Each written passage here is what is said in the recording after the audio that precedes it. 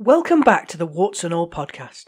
I'm Suzie Edge, medical doctor and historian, and I'm just fascinated by how we've treated the human body in life and in death, but let's face it, mostly in death.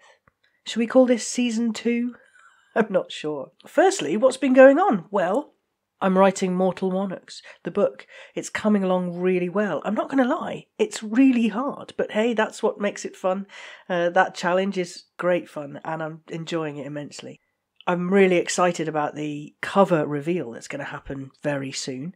Uh, I love the cover; it's great. It's um, yeah, well, let's just wait and see, shall we? You can pre order Mortal Monarchs, the book, at Amazon, Waterstones. If you're in America or Canada, you can pre order a signed first edition from our friends at Goldsborough Books. Love them, so thank you to them for doing that. I'm going to have to go on a trip down to London with my Sharpies at the ready and, uh, and sign some of those later in the year. Links are on my website at suzieedge.com or in the about section of the podcast, however you're listening. Thanks for thanks for all the people who've been asking about that.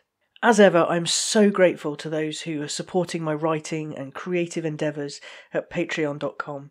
Thanks to Lucinda Porter and Chase Gardiepi, I hope I said your name right, and uh, Kurt Williams. You guys have sent me really lovely, supportive messages. Do you know what brings a tear to my eye? Because I mean, you know, I'm just British and it's awkward, but I do feel really, really grateful and um, Thank you for that. I've been sending out some t shirts, although I have to say I've had a massive fight with my merch provider. It's just, just, just tricky. You'd think. Anyway, enough of that. Uh, if you're waiting on something, then please keep an eye on the post. I am up to date, so it's just a question of delivery. And uh, let me know if you're expecting something and it doesn't come through. So, what else? Continued wonderful support on TikTok. Um, we've got I 205 I think thousand followers which just blows me away. Every one of you I just I appreciate it so much when I I see a little notification to say that someone's followed. I think wow that's amazing. So thank you. Onwards. What's going on this week on TikTok? Well well we'll talk about that at the end. Let's move on to the podcast. This week's podcast there's a lot of content out there about the Titanic disaster. It's been over a hundred years since it happened, and yet it still captures our imagination. My children were learning about it in projects at school. We just, we do see it everywhere. It's such a wonderful story, but there's more to it for me than the bits that we hear about the survivors or the, the plates that you see on the ocean bed. There's more to it. And the same thing with the white ship disaster. And whenever I hear these stories, I wonder how did the cold northern water affect their bodies? So let's find out. This is Warts and All, episode 11. You're not dead until you're warm and dead. In 1120, the white ship sank off the French coast. The heir to the throne, son of Henry I, was lost in the freezing waters, and with him many English nobles lost their lives too. The sinking of the White Ship had a huge impact on England in the years to follow. There were years of strife. Thank you to my friend who sent me Charles Spencer's book, The White Ship. I love it. I know that um, my friend Dan was reading it last year and, and definitely recommended it, and I've, I've got it now, so wonderful. In April of 1912, the Titanic sank on its maiden voyage to America, hit an iceberg. 1,500 people died in the icy waters. That's a story that we're all really familiar with, but of course there are so many. One terrible day in 1832, 105 fishermen from Shetland were lost at sea in one storm. 105 people went into the water, leaving behind wives and children with nothing. Of course, these are just three stories of lives lost in frozen northern waters. There are so many of them. I mean, you're probably familiar with the Titanic, but maybe not so much the White Ship. So let's just go there for a moment. It was a freezing cold but calm night in November 1120. Henry I, his family, and 250 nobles were due to travel across the Channel to England. A man called Henry Fitzstephen stepped forward. He claimed that his father's ship, years before, had been used to convey Henry's father, Duke William of Normandy, across to England during the time of the conquest. He asked, could he do the same for the conqueror's son? Now, Henry already had plans. He didn't want to deviate from them. But sure, if they wanted, his son and the others, they could travel with Fitzstephen.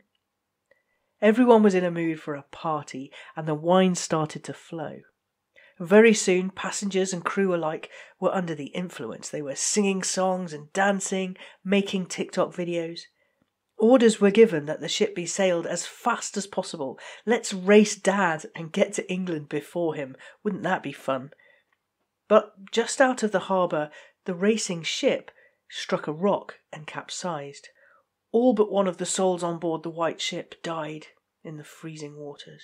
And what interests me about these stories is that whatever the reason for the sinkings, however many years separate the stories, what happened to the people would have been the same. Their bodies were challenged by the cold and the water. Their bodies would have mounted the same physiological responses and they would have had the same outcomes. So, my question is what happened to the people who fell in the frozen water? The ones who didn't survive, the ones who didn't make it home? Well, the body needs to be at an optimal temperature, or thereabouts, for the biochemical functions that are going on. Sitting on board ship before disaster struck, the passengers' core temperatures were being maintained at about 37 degrees. They were, I don't know, dancing below decks on the Titanic, knocking back wine on the White Ship. Maybe they were sitting sipping sherry elegantly in first class. But when disaster struck, the freezing water began to steal the heat away. When the temperature isn't right, proteins will start to change their shape meaning interactions are no longer meaningful and function is lost because it's the shape of the proteins and how they all react in the body that lead to the biochemical functions that keep us going. When the temperature of the body starts to fall, the body realizes and changes start to happen automatically to try and compensate to keep that optimal temperature maintained where it's needed. But before all that happens, there's the cold shock response. Many on these ships were thrown into the waters, and falling into the water would be followed by an involuntary gasp, a massive breathing in. It's mediated by receptors in the skin, cold skin receptors, that realizes that you have hit a dangerous situation. Big drawing in of breath could be an immediate problem though, because if you're under the water, that would be a sharp intake of, well, water into your lungs. A life jacket could keep you from being under the water when that involuntary gasp happens. So, a cold shock response can lead to immediate drowning. But if you can keep water out of the lungs at this point, then it's the cold we need to worry about. You've got about 10 minutes to change things. In about 10 minutes, muscle cramps will prevent you from moving to help yourself, to get aboard a nearby lifeboat, or to climb aboard a huge wooden door that your new girlfriend is hogging. We don't forgive you, Rose DeWitt Bukater. Hypothermia will occur progressively over the next hour. Firstly, blood will be shunted from the peripheries where they're not necessary for survival. Your feet might not need the blood that could be keeping important organs warm. This happens by a constriction of the peripheral blood vessels, squeezing the blood towards the core. They'll be shivering where muscles move involuntarily, trying to generate heat. Teeth will chatter. With 10 minutes in freezing water with a life jacket, you can do something about it, but beyond that, we're in trouble. Also, the freezing water around the ears can bring on vertigo and disorientation. Not knowing which way is up would be a terrible scenario, and it would be worsened by the partying passengers, especially on the white ship, the ones who'd been at the wine. As the freezing water starts to steal your remaining heat away, the body temperature, the core temperature drops further. Once below 28 degrees, so between 24 and 28 degrees, you can expect unconsciousness. There's no more shivering. You could still feel a pulse. If you fished them out the water at that point and their airway had remained open, they could still have vital signs. And if you find somebody cold, unconscious but they still have vital signs, then they're unlikely to be at less than 24 degrees. Below 24 degrees, though, you can expect a cardiac arrest. Heat production is overcome by the excessive cold, energy stores are depleted. As for the heart rhythm, as it gets colder, there's a decreased depolarization of cardiac pacemaker cells. The beat will slow and will progress from a sinus bradycardia through atrial fibrillation, ventricular fibrillation, and eventually asystole. It'd take more than a cup of cocoa to get things working again at this point. The central nervous system metabolism decreases. There's a linear relationship between the Glasgow coma scale and core temperature. and confusion and hallucinations can lead to bad decision making, making everything worse. And as freezing water expands in the extremities, cells damaged by water freezing leak out their contents. The potassium levels will be seen to rise in hypothermic patients. It's, it's a level used to decide what treatment, if any, they're going to need. Of the 340 bodies recovered from the Atlantic after the Titanic sinking, many of the bodies were considered too disfigured to be identified. Ask a Mortician told us about this. It's great. Go check her out. When it's freezing cold and people are talking about ending up in the frozen waters, people say you won't last long. And many survivors of being cold but not dead say that it was very peaceful that they didn't really feel anything. Well, that's because the body's shutting down. Reading this is making me feel cold. I'm even shivering a little in my old cottage in Scotland, it being winter and all. I'm off to light the fire. I would talk about intentional hypothermia and its therapeutic uses. After all, I jump into a freezing cold shower every morning. Okay, I don't jump, I step gingerly.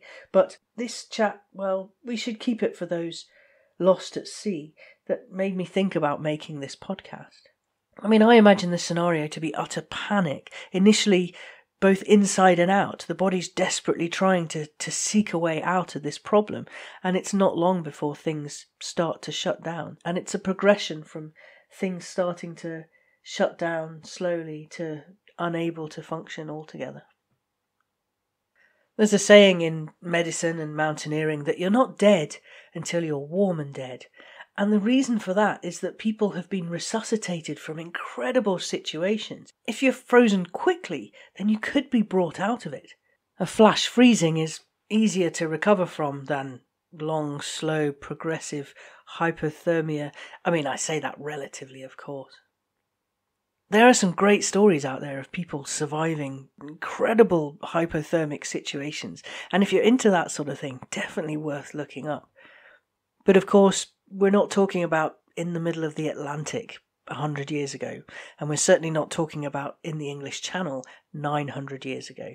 These people just really had no chance once they were in the water. Thanks for listening to the Warts and All podcast. That's been episode 11. You're not dead until you're warm and dead. I think I just love stories of the human body throughout history. Our attitudes, how we've treated the body in life and in death might have changed, but the body itself, over the last thousand years, well, it would have had the same response to being thrown into frozen water. Now, I promised a rundown of what's been going on on TikTok. This week, well, it's all been about Richard III and the Wars of the Roses. Well, actually, no, it's been about Edward V, Richard III's nephew. See, there was this story that was really popular over the last couple of weeks. It was about the idea that Edward V, the nephew, one of the princes in the tower, managed to escape and he lived out his life you know, without going back to get the throne or anything. He lived out his life in Devon. Well, I can think of worse places to go and live. And there's this church in Devon which has lots of Yorkist things about it. I should I should have written this down before I started talking because I start using words like stuff and things uh, when I don't pre-write something. But there's there are all these clues apparently, and this is uh, this is Philippa Langley. This is the woman who found Richard III in the car park in Leicester. So you know, we're not going to dismiss what she's saying. A lot of people are, are saying, "Oh, this is very much um, Dan Brown sort of novel idea," but you know, it's all good fun, and it makes people interested in in looking back at these things, which which is great. We've looked at the beheading of Alice Lisle. We've looked at we've looked at the death of the White Queen, possibly of plague, and also the Kingmaker, Richard Neville, the one who didn't want her as queen and rebelled against the crown because of it. We've had some career chat as well. I like to answer questions about that. Uh, what else? I tell you what, I'm going to whip out my phone, open TikTok. Oh, hang on, and see what else we've been talking about. so I've got an Instagram follower who um, who got this, you know, one of these messages on Instagram saying, if you follow Suzie Edge, you might like Britney Spears. And that was just the funniest thing. That absolutely made my day. Silly things like that do make me laugh. Anyway, we talked about having Scottish ancestors, the Highland clearances, what happened to Simon de Montfort, And also, there's the series I've been doing on old medical terms, the sort of words that you might see on old death certificates and uh, mortality lists if you're doing your family history, that sort of thing. I'm going to turn that one into a YouTube video.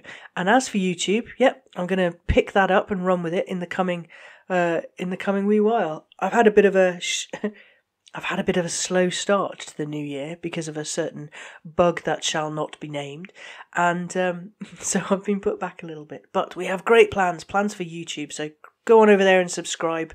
And the first video on there is going to be about unicorn horns.